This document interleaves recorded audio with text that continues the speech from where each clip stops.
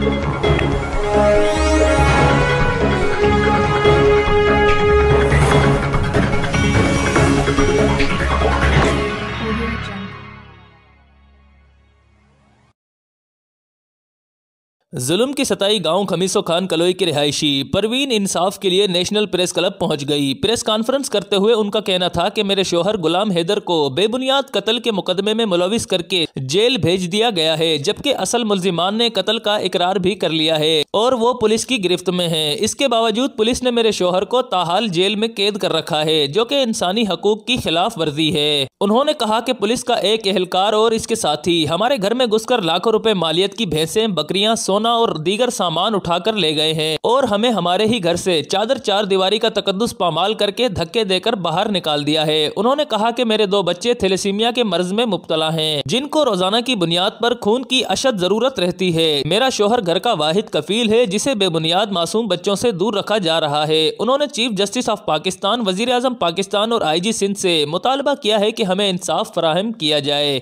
उजैन खान ज़्यादा टंडोवाला हियार।